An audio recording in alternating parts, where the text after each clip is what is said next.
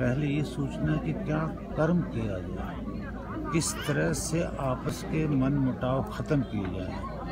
अब ये आध्यात्मिकवाद है। शुरू से जब से सृष्टि बनी है, भगवान ने सबसे पहले आध्यात्मिकवाद का ज्ञान दिया कि भाईचारा बढ़ाओ। इंसान को उन्होंने ज्ञान दिया है।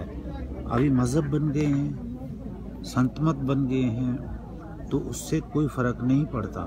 लेकिन यही मज़हब, यही संत मत में सब गुरुजनों को बैठ करके एक ऐसा हल निकालना चाहिए कि अनादिकाल से आदिकाल से जो पहले वेद विद्या भगवान ने दी, जो मज़हब नहीं है, उसमें शांति स्थापना के लिए जो माता पिता गुरुओं की सेवा बताई, बुज़ुर्गों की सेवा बताई, यज्ञ करना बताया, सत्य बोलना बताया, मांस मदरा से दूर रहना बताया, लड़ाई झगड़ा न करना बताया, अहिंसा परमो धर्म का उपदेश दिया तो वो ईश्वर ने दिया।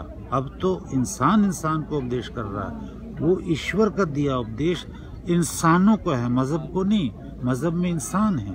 तो ईश्वर के उपदेश को सुनकर, समझकर, उसे धारण अगर करने लगे तो आज भी पिछले युगों की भांति और शांति स्थापित हो जाएगी। और अन्यथा और कोई रास्ता नहीं, क्योंकि मज़हब में कट्टरपंथ आ जाता कभी कभी लड़ाइयाँ हो जाती हैं। पर जब इंसान की शिक्षा, भगवान की शिक्षा इंसान को मिलेगी, मज़हब के साथ साथ रखो।